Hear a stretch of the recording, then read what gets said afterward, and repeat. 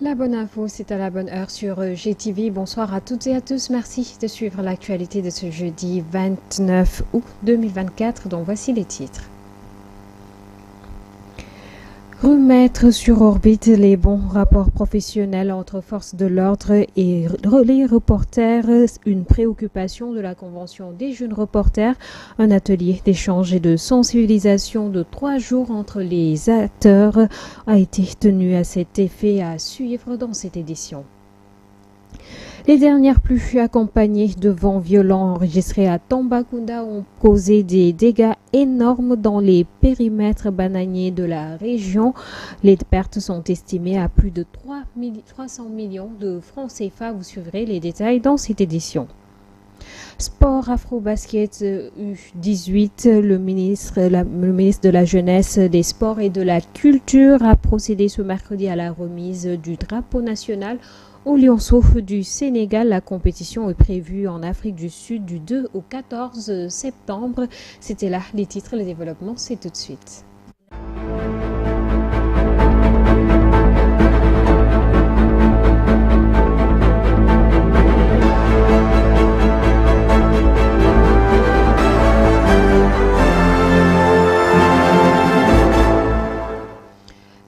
Convention des jeunes reporters du Sénégal a organisé un atelier d'échange et de sensibilisation de trois jours sur les rapports entre les professionnels des médias et les forces de défense et de sécurité. À cet effet, Migi Maramdiaye, président de la Convention des jeunes reporters du Sénégal, revient sur l'importance de cette initiative pour la sécurité des jeunes reporters euh, sur le, théâtre d'opération. Ses propos sont recueillis par Monso Djassé. Cette activité est une initiative de la Convention en partenariat avec Reporters sans frontières, mais également avec son partenaire allemand IFA. Alors nous, l'avons initié parce que c'est parti, euh, c'est suite à un constat qui a été fait. Au Sénégal, il était rare d'assister à un événement politique surtout sans qu'un professionnel des médias ne soit victime de violence ou arrêté par les forces de défense et de sécurité. Quand nous avons fait ce constat, vous, vous, souvenez de l'affaire Absa Anne, Isabelle, entre autres. Nous avons rencontré les autorités, d'abord le ministre de l'Intérieur d'alors, ensuite récemment le président de la République et le directeur des relations publiques de la police nationale. C'était pour voir comment améliorer les relations sur le terrain. Parce que nous avons deux missions garanties par la Constitution. Dans les normes, sur le théâtre des opérations, nous devons collaborer pour l'intérêt supérieur de la population sénégalaise. Malheureusement, ce n'est pas encore le cas. Parfois également, c'est par euh, ignorance des textes qui encadrent nos métiers respectifs, qui sont encore une fois euh, des métiers euh, encadrés par la Constitution sénégalaise. Et pendant 72 heures, nous allons discuter. Nous allons, la police va prendre la parole pour parler des difficultés rencontrées sur le terrain, souvent à cause des professionnels des médias. Les professionnels des médias également vont faire pareil.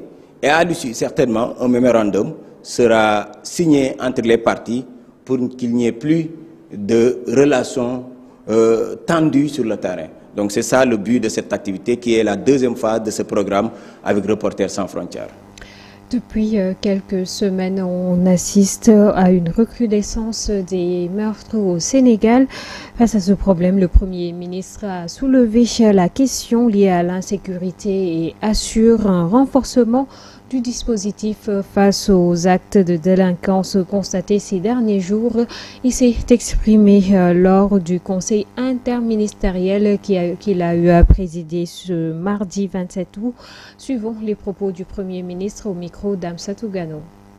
Le Premier ministre Ousmane Sonko a présidé le mardi 27 août le Conseil interministériel sur l'approvisionnement en eau potable, une occasion saisie par le PM pour aborder la question de l'insécurité dont les Sénégalais sont victimes. Dans sa communication, Ousmane Sonko, tout en relevant les efforts continus déployés par le gouvernement pour la sécurisation des populations, a jugé utile d'assurer le renforcement du dispositif face aux actes de délinquance constatés au cours des dernières semaines En effet, force est de constater que le Sénégal connaît une recrudescence de séries de meurtres qui créent une panique générale chez les populations qui ne se sentent plus en sécurité. Après le double homicide de Technopole où une découverte effroyable a été faite entre le lundi 19 et le mardi 20 août, c'est au tour de Tuawon de prendre sa part du gâteau.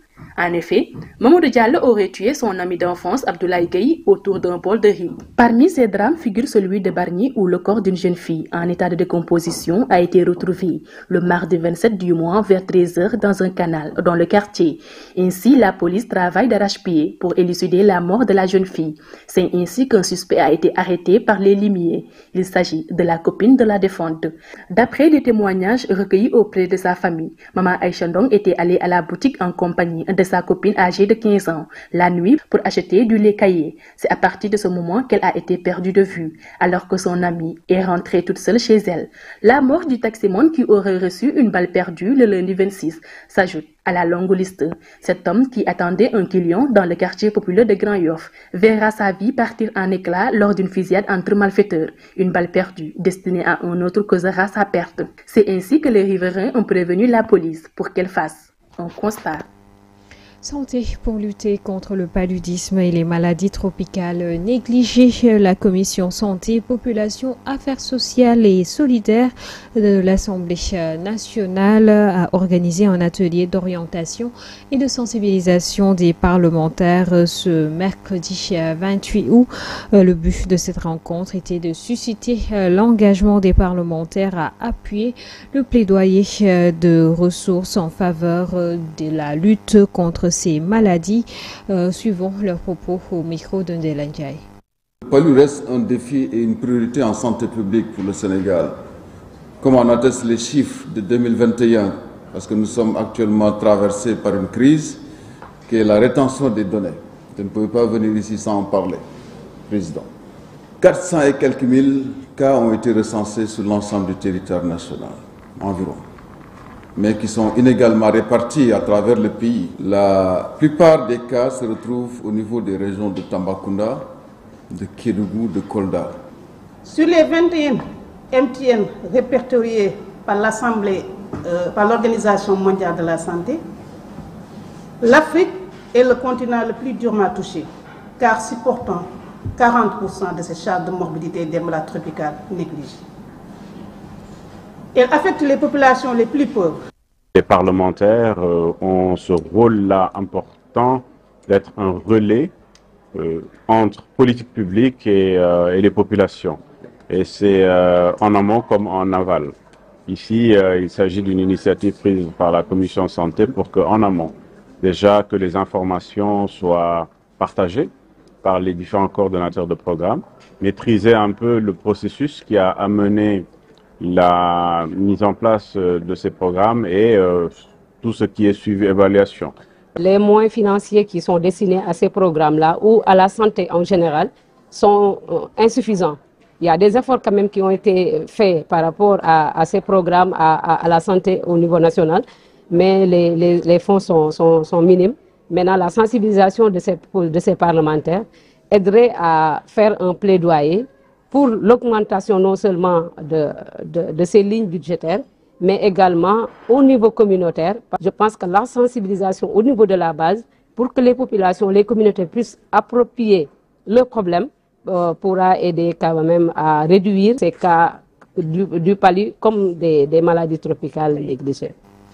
Les dernières euh, pluies accompagnées de vents violents à Tambacounda euh, ont causé des dégâts énormes dans, les périmètres bananiers de la région. Les pertes sont estimées à plus de 300 millions de francs CFA et les producteurs se retrouvent déjà dans une situation de vulnérabilité et risquent de ne pas pouvoir payer leurs dettes auprès des institutions financières. C'est pourquoi la société de coopérative de, des producteurs de la banane de, bananes de la vallée du fleuve Gambie lance un appel aux autorités. Euh, Moussa Sidibé est le secrétaire euh, général. Le voici au micro de Amadou Diallo. Nous avons eu aussi des vents très violents, détruisant pratiquement euh, le peu qui nous reste en termes de production. Ce qui, met, ce qui fait qu'actuellement, la COPRAVAC est dans une situation très délicate et ne peuvent pas honorer ces engagements par rapport aux institutions financières. Inscrire les enfants, il faut qu'ils vendent de la banane. Mais si nous voyons cette situation et que l'ensemble des bananes sont à terre et que la banane est en cours de production, c'est-à-dire presque, euh, il y a le régime qui est, qui est déjà euh, en place et qui, euh, deux à trois mois, il devrait récolter. Si l'ensemble de cette production est à terre, donc il se pose un problème de vulnérabilité pour l'ensemble de ces producteurs. Voilà, en termes de chiffres, euh, on peut estimer plus d'une euh, centaine de millions qui sont perdus. Donc si nous voyons pour les dégâts, si on estime, on est presque à 320 millions de, de, de pertes. Et je sais que cette, euh, cette, cette, euh, ce vent violent est beaucoup plus euh, dur par rapport à la dernière, ce qui veut dire que forcément les chiffres vont augmenter. Donc on estime à peu près à, à l'ordre de 350 jusqu'à 400 millions perdus par les producteurs, ce qui est énorme et qui met euh, l'ensemble des producteurs en situation de vulnérabilité. Raison pour laquelle nous appelons l'ensemble euh, des bonnes volontés et les autorités locales à venir en aide avec euh, la COPROVAC pour pouvoir euh, rehausser les difficultés que les producteurs de la vallée rencontrent. Le président du gouvernement d'Espagne, Pedro Sanchez, au Sénégal ce mercredi 28 août 2024. Cette visite entre dans le cadre de la coopération entre ces deux pays pour la lutte contre l'immigration, l'immigration irrégulière. D'autres sujets ont également été passés en revue. Selon Suleiman Diallo, président de l'ONG Otra Africa, cette visite est d'une importance capitale pour le Sénégal dans le cadre de la lutte contre ce fléau, euh, mais aussi euh, elle permet euh, de pouvoir régler le problème des quotas de visa. il s'est exprimé Souleymane Diallo au micro de Mam Awassal. Je pense que la visite de M. Pedro Sanchez, président du gouvernement de l'Espagne au Sénégal, suscite beaucoup d'intérêt pour nous et particulièrement pour la migration irrégulière qui est un fléau sur lequel les deux gouvernements ont investi énormément euh, de ressources. Des programmes ont été dégagés, des projets, mais néanmoins les pirogues continuent à partir. Donc ce qui veut dire que ces programmes, ces fonds injectés n'ont pas atteint leur objectif. Nous avons fait une lettre ouverte récemment au président Bassir Diomaye Diakhar Faye euh, pour lui donner les pistes que nous voulons. Parmi ces pistes-là, je viens tout juste de vous citer le problème euh, euh, des rendez-vous. Euh, qui ne devrait pas, en principe, ça ne devrait même pas avoir lieu. Une histoire de, de, de prendre des rendez-vous, ça ne devrait pas avoir lieu. Je pense que ces, ces, ces, ces, institutions devraient être assez outillées pour nous gérer ça, pour ne pas spéculer sur cela. Bon, maintenant, il y a le problème des, des visas, le quota des visas, hein, donc ça, il faudrait qu'on puisse... Ça sont les pistes de solution. Hier, j'ai eu l'opportunité vraiment d'échanger avec le président Pedro Sanchez, et d'ailleurs, c'est l'opportunité pour moi de remercier euh, Madame l'ambassadrice de, de l'Espagne au Sénégal, euh, qui est une dame vraiment très engagée sur la question, qui vient d'arriver, mais qu'on sent qu'elle veut faire bouger les choses. Mais également, l'honorable député espagnol euh, d'origine sénégalaise, Luc André Diouf, vraiment, qui a fait un travail extraordinaire, un travail de plaidoyer. Et hier, nous avons eu l'occasion, effectivement, on a été conviés pour partager avec euh, son Excellence Pedro Sanchez notre vision euh, de la migration et je pense que nous sommes en phase avec lui. Sénégal Concept Startup a organisé ce jeudi un atelier de partage avec les acteurs de l'écosystème numérique pour la consolidation de labellisation du numérique. Selon les organisateurs, cette rencontre permet l'homologation des documents du label Sénégal Concept Startup. Pour plus de détails, suivons les explications de Madame Kahn, la secrétaire exécutive de, de, de la structure. Elle s'est confiée au micro de Mansour Diassé. Alors l'atelier d'aujourd'hui est un atelier important dans le cadre de l'opérationnalisation de la loi. Cette loi est là pour accompagner les entrepreneurs, les jeunes entreprises, les start-up pour devenir des licornes, c'est-à-dire des entreprises fortes et qui vont créer de l'emploi. À travers quoi? À travers le label. Et aujourd'hui, nous avons décidé de réunir l'ensemble de l'écosystème pour discuter échanger autour d'un cadre qu'on a travaillé avec notre partenaire qui est l'Association sénégalaise de la normalisation. On avance bien. Euh, nous avons euh, déjà posé notre cadre incitatif. Nous travaillons de manière euh, acharnée avec nos partenaires afin de agrémenter le label. Aujourd'hui, on pose un acte fort, c'est-à-dire qu'on va arriver au bout euh, du processus de labellisation qui doit être homologué par décret du président de la République, son Excellence M. Bassirou Diomaye Faye, et le règlement intérieur qui doit être homologué par le ministre en charge du numérique, c'est-à-dire M. Aliou Sall. Donc on avance, on avance bien. Notre objectif, c'est que d'ici décembre 2024, nous arrivons à labelliser 50 startups ce sera nos champions de nos champions, ce sera nos champions, ce sera nos porte-drapeaux, ce sera notre équipe nationale de la start-up au Sénégal. Et on espère que grâce à ce label, grâce à la Startup Act, le Sénégal prenne sa place au niveau régional, au niveau continental et surtout au niveau international. À présent, l'actualité hors de nos frontières. Euh, en bref, au Mali, euh, cela fait euh, maintenant plus de deux mois que 11 cadres politiques d'opposition sont détenus. Ces anciens ministres et chefs de parti de membres de la déclaration du 31 mars qui réclament le retour à l'ordre constitutionnel au Mali avaient été arrêtés le 20 juin dernier. Ils sont inculpés notamment pour opposition à l'exercice de l'autorité légitime ces dernières euh, semaines, la procédure judiciaire a connu des avancées. Des tentatives de médiation sont également en cours pour tenter d'obtenir leur libération. Reste à voir si le juge d'instruction et le parquet partageront cette analyse et s'ils auront les mains libres pour agir en toute indépendance dans ce dossier au moins euh, aussi politique que judiciaire. Les autorités de transition avaient suspendu les activités politiques des partis et associations en avril dernier, invoquant des raisons d'ordre public avant de lever cette interdiction au mois de juillet. Au Niger, le chef d'état-major général des armées était en visite à Niamey euh, ce mercredi.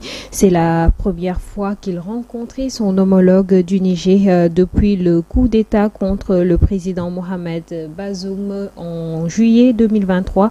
Le signe d'une normalisation des relations entre les deux pays.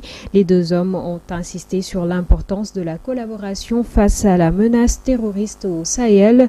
Le chef d'état-major euh, des armées du Nigeria, euh, le général Christophe Moussa, a été accueilli avec les honneurs à la base aérienne 101 de Niamey.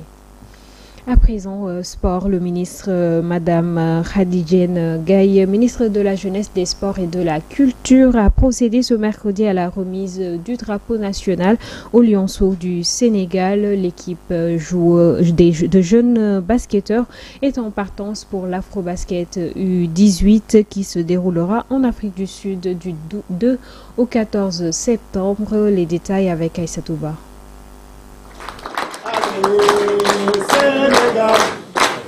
Classée dans la poule A avec le Mali, la Côte d'Ivoire et le Cameroun, l'équipe nationale basketball U18 en partance pour l'Afrique du Sud a déjà reçu le drapeau national ce mercredi 28 août. C'est avec enthousiasme et espoir que je vous remets le drapeau national, symbole de notre souveraineté, au nom de son Excellence, Monsieur Bassirou Diomaye Diakhar président de la République du Sénégal. Cette cérémonie solennelle constitue un moment important dans la préparation et la prise en charge des jeunes basketteurs sur qui repose l'avenir de la discipline. Cette cérémonie de remise de drapeau est une occasion pour Madame Khadidjienne, ministre des Sports, de rappeler aux jeunes basketteurs l'obligation de représenter dignement le Sénégal et surtout dans la discipline. Vous allez en Afrique du Sud avec l'ambition légitime de revenir au Bercail avec le trophée continental. Je vous exhorte à vous donner à fond sur le parquet dans un esprit de fair play qui est même l'éthique du sport. En recevant le drapeau et en revêtant le maillot national, vous endossez la lourde responsabilité, mais aussi l'insigne honneur de défendre et d'honorer les couleurs nationales. Faites surtout preuve de solidarité Soyez unis par un seul objectif, jouer ensemble afin d'honorer la nation sénégalaise. Elle a également souligné l'importance d'investir sur la formation de la petite catégorie pour la relève. Pour garantir une, une formation de qualité et pouvoir assurer aussi la relève.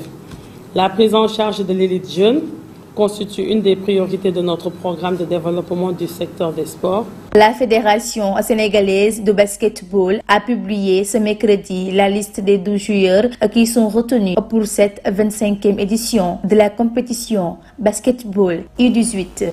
Bonne chance aux Lyonceaux du basket, c'est ce qui met un terme à cette édition du jeudi. Merci de l'avoir suivi. L'information reviendra demain. D'ici là, portez-vous bien en compagnie des programmes de GTV. Bonsoir.